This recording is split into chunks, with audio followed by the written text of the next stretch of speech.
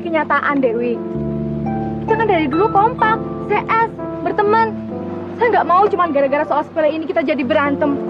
Apalagi cuma karena cowok.